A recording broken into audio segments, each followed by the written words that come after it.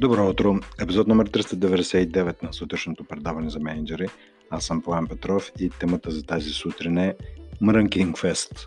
Мрънкинг, вече вероятно се досещате, от последните дни доста неологизми се измислиха. Първото беше около Юркинг, Дундуркинг, след това Гмуркинг. Всъщност Гмуркинг се появи по време на представянето на книгата Студент душ за менеджери от Гери и днес, е, по-скоро вчера, се е, появи съвсем спонтанно липсващия ни квадрант от тази матрица грижа към хората и твърдост към фактите, мястото, където няма нито грижа, нито се проявява някаква твърдост, т.е. има някакъв вакуум, едно безтегловно състояние и въпреки това, всъщност то се описва през този мрънкинг. Хората влизат в режим на мрънкинг фест и така приятно се изненадах, че а, Милена Георгиева също е написала като коментар в LinkedIn на един от постовете, че и тя, и тя си го е измислила този мрънкинг и беше много интересно за това, че а, в различни точки на страната се, е, стигаме до един неологизъм. Но каква е целта на днешния подкаст?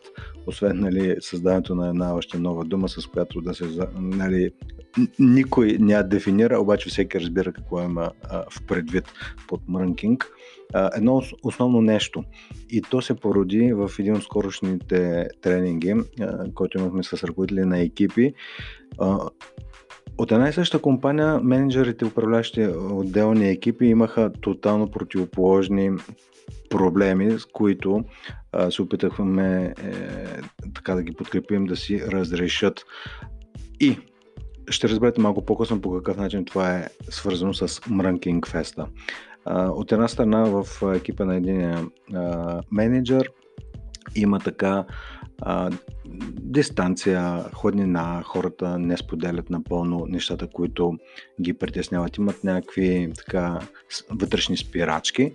В другия екип е точно обратното. Менеджер се оплака от това, че го бомбандират непрекъснато с всякакви ам, реквести, оплаквания, като се почне от типа какъв, от въпроса какъв тип да бъде туалетната хартия, какъв цвят да бъде туалетната хартия, до реквести в тип, еди кой си не говори с някой друг или се сърдя някой друг. То са нали, класическите примери от детската градина. Тоест, от една страна хората са в режим рънкинг, а в другата държат някаква хладна дистанция. И нашата работа наистина за да ги подкрепим тези ръководители на екипи, а, на, да си така, да, да имат някаква яснота и посока за действие. Първото нещо естествено нали, да създадем среда, в която а, самите те се чувстват безопасно, но да е кристално ясно, че решението на проблемите не е извън залата. А, и, и тук вече идват препратките към вашата работа като ръководител на екип. А, какво може да направите вие и по какъв начин може да използвате този подкаст а, за разговорите и срещите, които вие провеждате. А, тези две крайности, от място, в, в, в което хората не споделят истинските си притеснения, до място, в което са провеждат мрънкинг фест, има един деликатен баланс.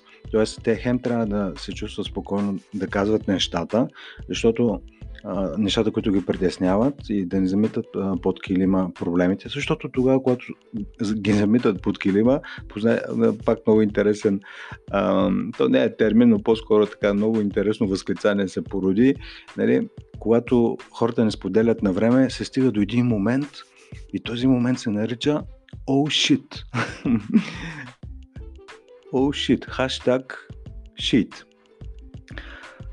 И шиит само, че не като шаршафи, а като нещо друго. И за да не се стигне до този момент или тези моменти да са по-рядко, е необходима комуникация. За да е необходима комуникация, хората трябва да са окей okay с това да споделят и да не им се извива ръцете за това, когато им, им са необходимо, необходими допълнителни хора, допълнителни ресурси, допълнително време.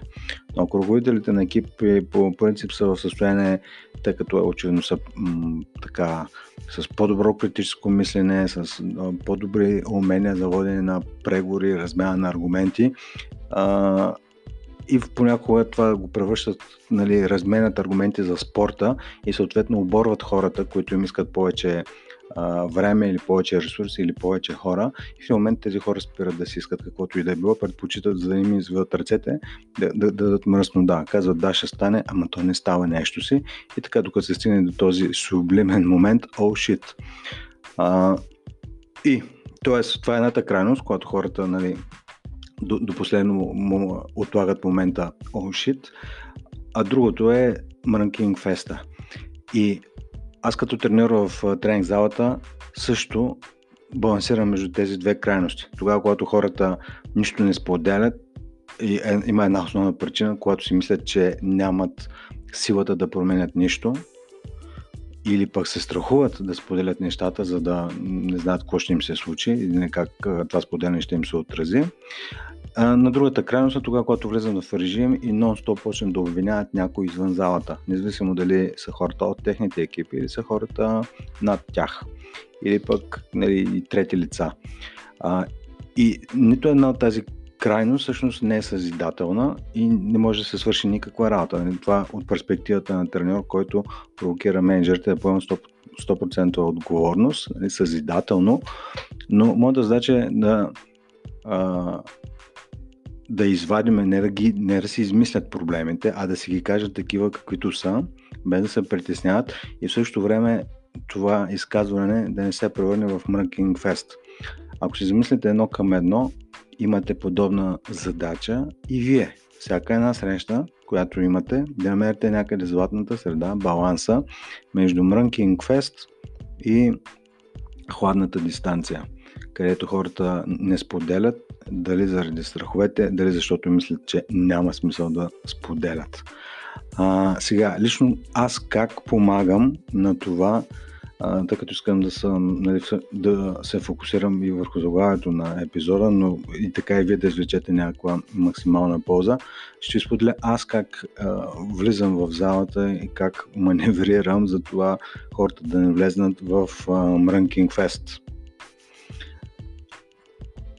И той е с един от инструментите, естествено, е един от най-добрите ви приятели. Еди кой си, каквото, се, каквото и да се оплаква, е да го фокусирате човека ти какво всъщност искаш. Нали, в този контекст, когато някой не ти отговаря, не те разбира, не те отразява по никакъв начин, ти какво конкретно искаш.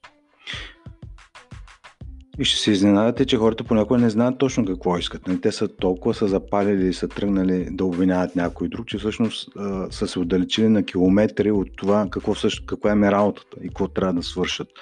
Така че един от най-добрите ви приятели е всъщност да фокусирате хората към това, което е важно за тях. Какво всъщност искаш и когато се определят какво искат да постигнат в този контекст, в който са влезли в режим на Мрънкинг Фест, а, преди да са нали, оплакване след оплакване, просто е така за спорта, а, да раздават, нали, взимате само едно нещо.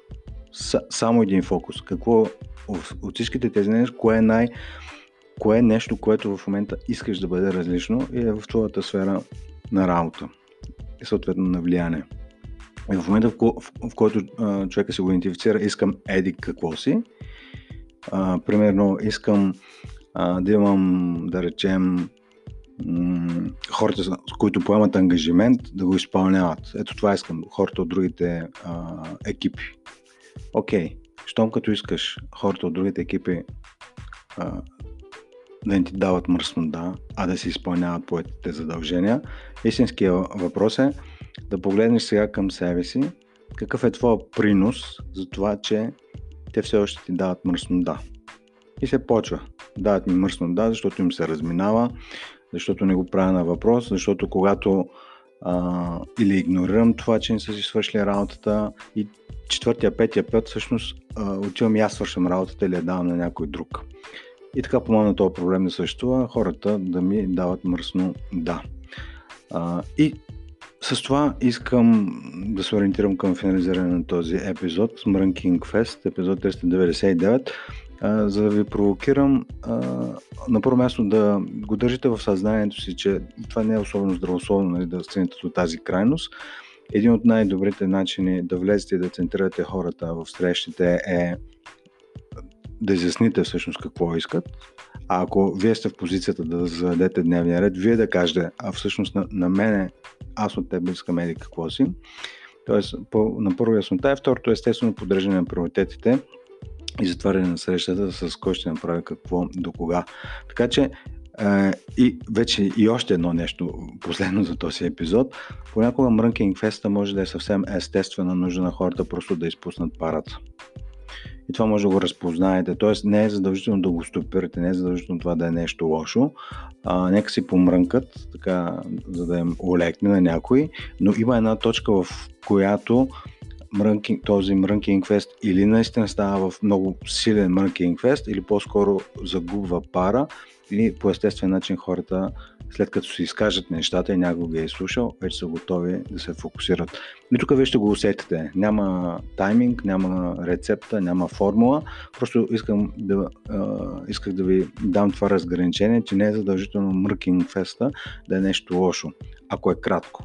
Това може да е просто вентилиране, изпускане на парта и така хората нали, да си кажат нещата. А то дори може и да ви сближи, ако проявите търпение, но до коя точка, вие ще си прецените точно до коя точка да проявите този, а, нали, да сте като един музикален слушател, защото буквално е като някаква, някакъв концерт става. Ама това не работи, това не работи, този така прави. Е просто един фест, мрънкинг фест.